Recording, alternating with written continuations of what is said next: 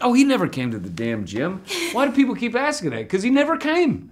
Really? man- no, he was already in shape. He was Thor. He didn't need to go to the gym. If he got any bigger, he wouldn't fit into his clothes. So you were just there pumping iron on your own. Oh yeah, he never showed up. Don't don't don't let him lie to you about that. But um, I feel the worst for him because he was so big, he had to lose all this weight, and then he had to go back to being big. So I, you know, I sympathize with the poor guy.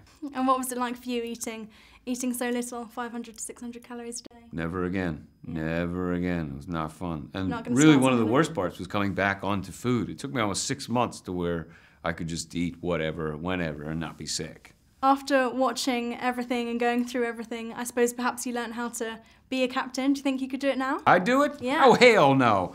Only if uh, Chris Hemsworth is my first mate and I can tell him to do everything. Because you watched you watched a lot. Did you pick up those kind of skills? Were they teaching I mean, we you did to learn do a lot. knots and all those kind of things? Oh yeah. Not really. You know how to set the spanker and all kinds of uh, you know the.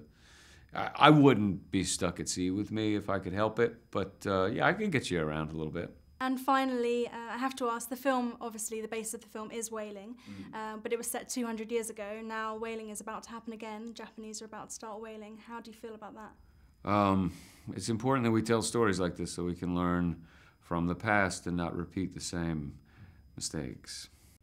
Because the scenes in the film of the whaling are particularly gruesome. traumatic. Yeah, and it, it, it's a testament to Ron that he wanted it to be specific and as gruesome as it really is and was.